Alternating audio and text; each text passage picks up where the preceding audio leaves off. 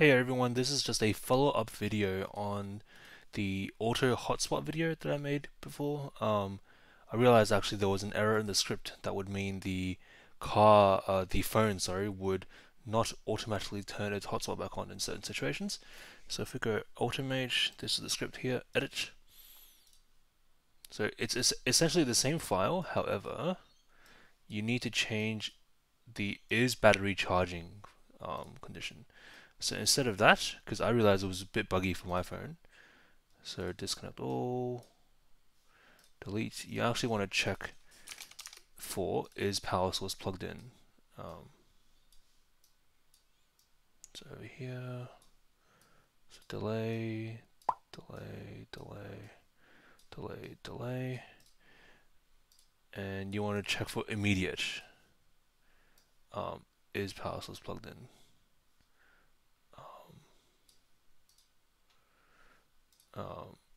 If it is, then that means it's charging again.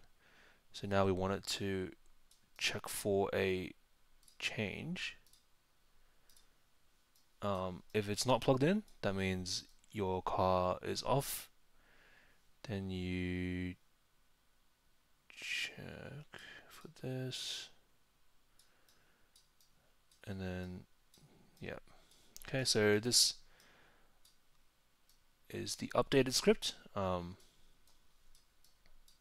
because for my Pixel phone, the is battery charging um, condition wasn't quite working. Um,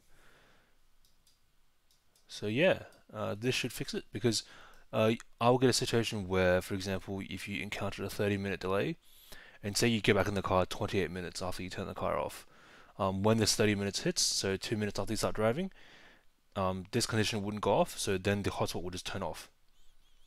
Um, but if if you check with power source instead, it's a bit bit more. Um, no, sorry, not a bit more. It's is functional rather than not functional. So this is what you need to do, okay? And I'm just going to save this as a flow and a PDF. I'll, I'll name it BYD auto hotspot when charging underscore fixed, okay? And then the old one will be deleted from my iCloud share. Okay, thanks for watching everyone.